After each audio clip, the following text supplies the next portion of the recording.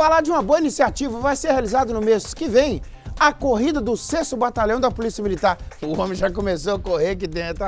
É, é, Pra gente saber mais, né? Saber como as inscrições podem ser feitas, Miguel Braz e Wellington Cunha vão conversar ao vivo com um dos responsáveis pelo evento. Ô, ô, ô, ô, Miguelito, você sabe que eu tenho feito participar de algumas corridas já, né?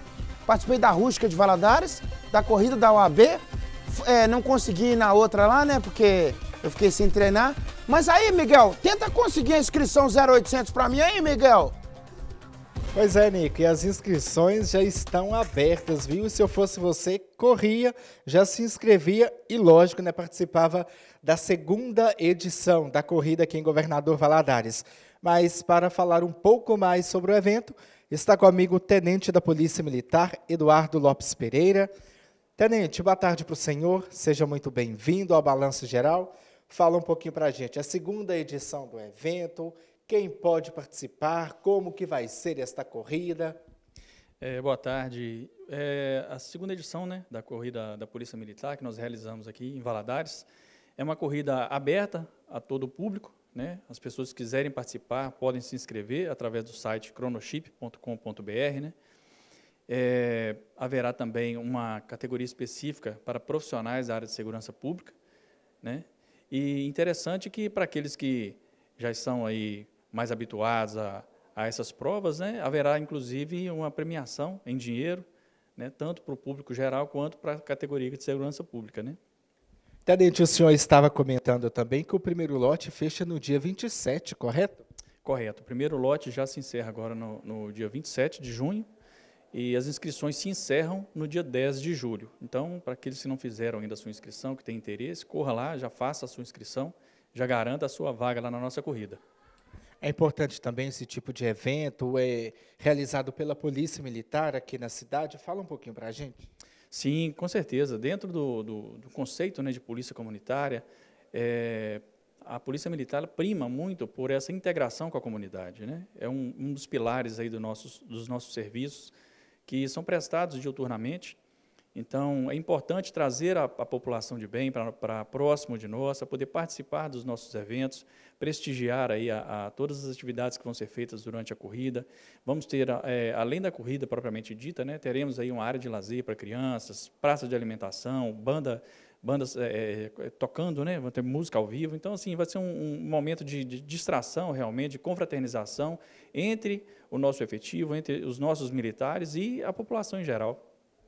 Tenente, em relação ao percurso, ainda está sendo definido, correto? Correto. A, a largada da nossa prova vai ser ali na, na, nas proximidades da, da, entrada do batalhão e a chegada ali vai ser, vai ser no mesmo local. Né? Agora, o, o percurso em si ainda está sendo definido pelos organizadores da prova.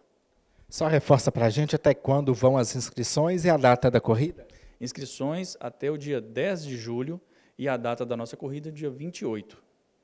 Muito bem, Tenente, a gente agradece a sua participação aqui conosco pelo Balanço Geral. Pois bem, Nico, ainda está em tempo, só reforçando que a corrida vai ser no dia 28 de julho, ali saindo de frente o 6 Batalhão, na rua Marechal Floriano, no bairro de Lourdes. E o site para inscrição, reforçando, é o cronoship.com.br. Repetindo, cronoship.com.br Lá também tem todas as informações sobre esta segunda corrida promovida pela Polícia Militar aqui em Governador Valadares. Eu volto com você, Nico. Uai, Miguel, você deu o recado certinho, o tenente falou aí, e, e você não falou com o tenente para ele abonar a minha inscrição lá, não, ô, ô Miguel? Eu não tenho dinheiro para fazer essa corrida, não, ué. Conversa com o tenente aí, ao vivo. Vamos ver se vai liberar a minha inscrição aí. Fala pra ele que eu sou irmão do Felício, eu sou da família, eu sou da casa aí. Ô, Tenente, ó, o Nico tá perguntando a questão da inscrição, se vai abonar a inscrição, que ele é irmão de um policial.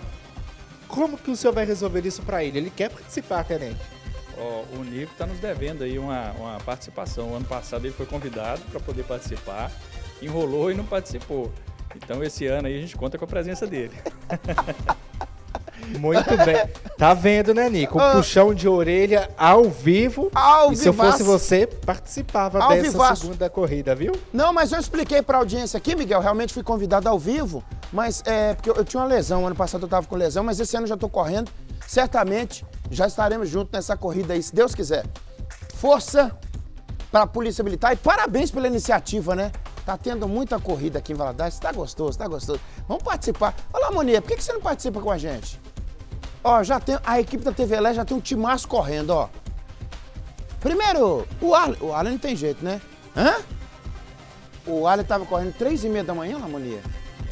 Sábado, domingo? Deus é mais. Dorme não. Dorme oito horas. A Dani falou pra mim: não manda mensagem pra ele depois de oito, não, porque ele dorme oito horas. Hã? Tem o Arley, o. O Nike, eu, o Gabigol tá correndo? Tá correndo, não. Alô, Gabigol! É. Ah, eu quero. Ó, meu desafio. É, nós vamos fazer tudo certinho o circuito esse ano, mas o ano que vem, na Rústica de Valadares, Papai do Céu dando vídeo de saúde, eu quero todo mundo da equipe aqui correndo a Rústica de Valadares em janeiro, hein? Não, mas eu falei esse ano passado foi eu, o Arley, o Nike, quem mais estava lá? Foram nós três. Agora, o ano que vem eu quero toda a equipe.